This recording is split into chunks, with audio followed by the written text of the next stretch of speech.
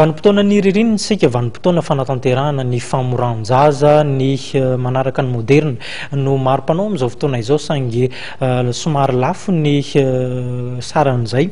Fanatanterahana famoran-jaza moderina izay noho izay antony izay indrindra no nanatanterahan'ny kaominina ambanivohitra Sabotsy Namena hetsika famorana faobe ho fanampiana an'ireo mponina eny an-toerana eny.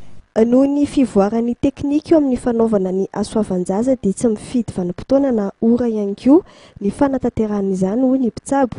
Tsy mandeha ra ny teknika moderina ampiasaina amin'izany hasoavan-jaza izany, no herinandro monja dia maina ny fery. Ny didipoitra izany dia mety foana na vao maraina be io na amiatoandro na amin'ny hariva.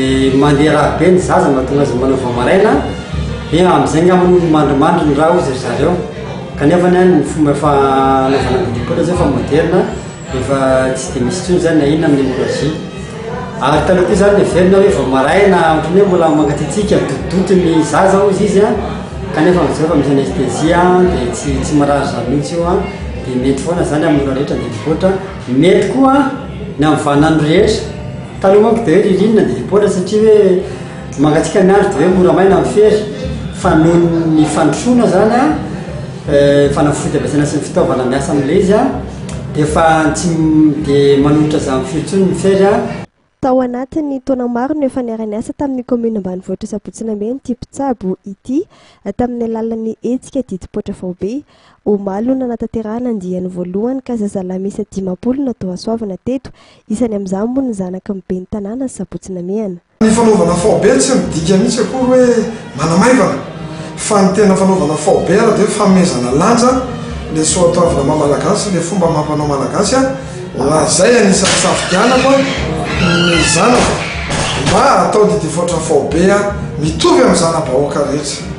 Mbola hisy andiany faharoa ahitana zazalahy miisa telopolo tsy hetsika soavan-jaza ity ka amin'ny volana jolay no hanatanterahana izany.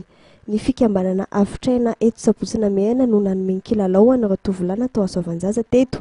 Marihina fa raha amin'ny andavanandro, izany hoe ivelany ny hetsika didim-poitra fao be tahaka izao, dia mahatratra telo alina ariary ny sarany ny fanaovana ny hasoavan-jaza manaraka ny teknika moderina.